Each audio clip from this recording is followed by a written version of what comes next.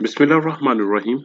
In this video session, I'm going to explain how to calculate a leap year. Let's start the session. Here is a program.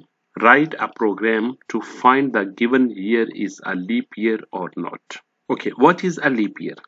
We have 365 days in a normal year and in a leap year 366 days are there one day is extra in leap year that will be added at the end of the February. Now I want to draw the flow chart of a leap year, how to calculate a leap year. First of all, I want to start the program. Next is input a year. You will enter one year and then it will check that if year is divisible by 4 then it will say yes if this condition will true then it will check in again check it again.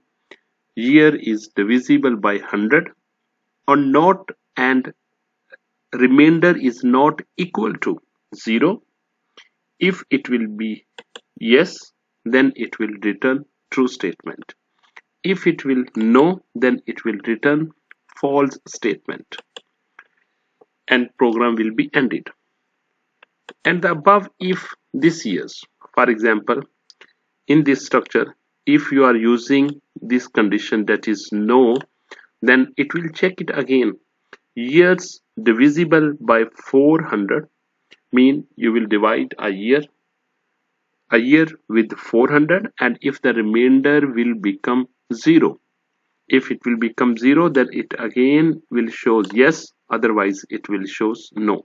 In case of no it will return false now we can say that when it is leap year, if leap year is this, then you have to select this path. This path, check the condition, that condition must be true, then you can say that this is true.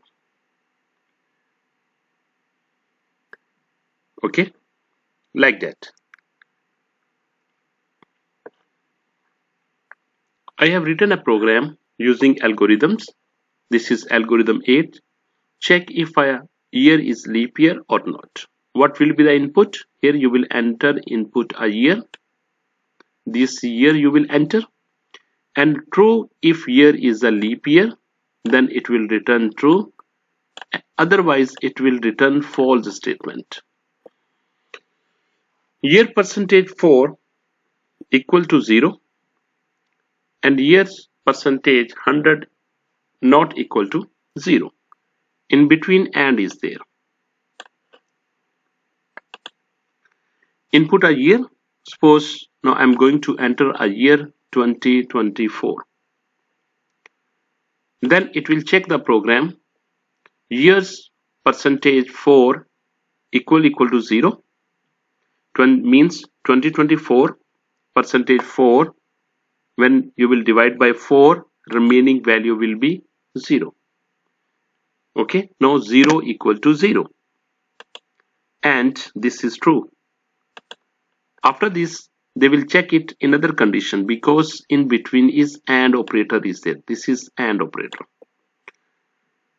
2024 divisible by 100 and what will be the remaining value now we are i'm going to check 2024 divided by 100 what will be the remaining value? Remaining value is 24 and 24 is not equal to 0 24 is not equal to 0 yes true.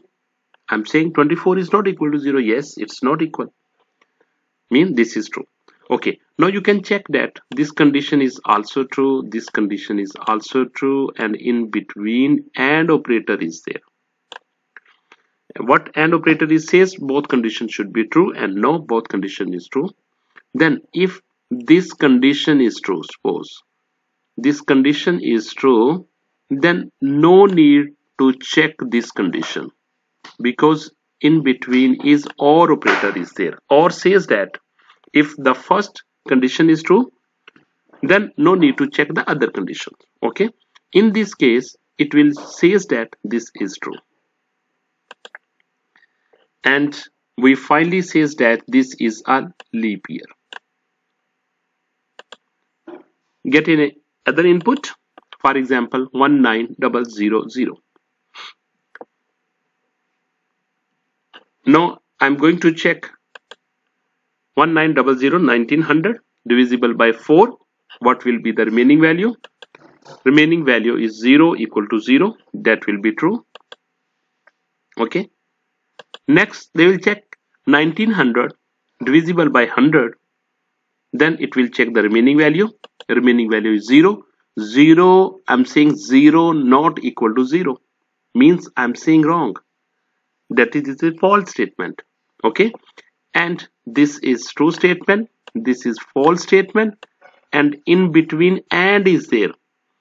If all the condition will be true then and will return result true.